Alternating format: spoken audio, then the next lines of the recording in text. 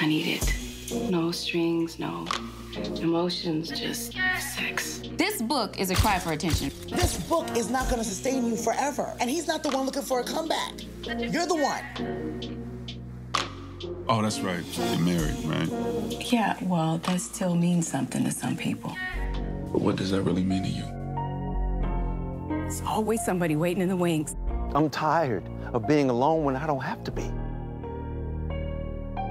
I'm not ready to give up on the idea of falling in love with that special one. Are you asking me out? Show me what I need to do to figure my fiance out, man. I feel like he may not be ready for all that I want.